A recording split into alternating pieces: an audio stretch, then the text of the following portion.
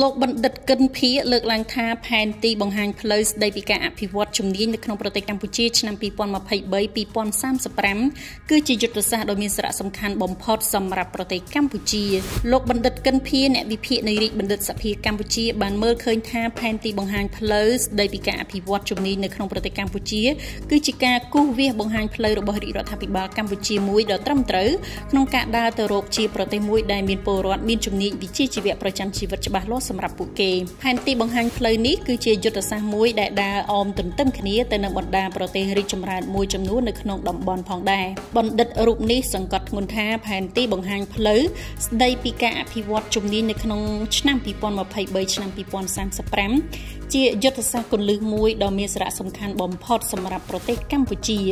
ដើម្បីប្រែក្លាយប្រទេសពីកម្លាំងអតិពលកម្មទៅជាប្រទេសមួយដែលពោពេញទៅដោយពលរដ្ឋដែលមានជំនាញច្បាស់លាស់ឆ្លើយតបទៅនឹងទីផ្សារការងារជាពិសេសនោះវាក៏ជាផ្នែកមួយចូលរួមយ៉ាងសកម្មលើផែនការយុទ្ធសាស្ត្រប្រែក្លាយប្រទេសកម្ពុជាទៅជាប្រទេសមានចំណូលកម្រិតមធ្យមឆ្នាំ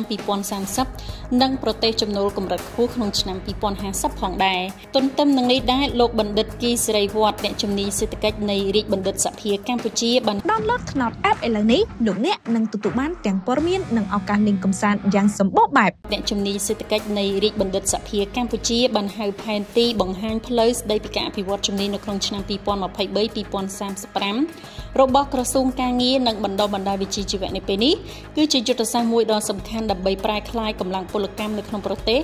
ពីអតិពលកម្មទៅជាកម្លាំងមានជំនាញជាក់លាក់តាមរយៈការបណ្ដុះបណ្ដាលជំនាញបច្ចេកទេសដែលគូសវាសយ៉ាងម៉ត់ចត់ថែមទៀតផង។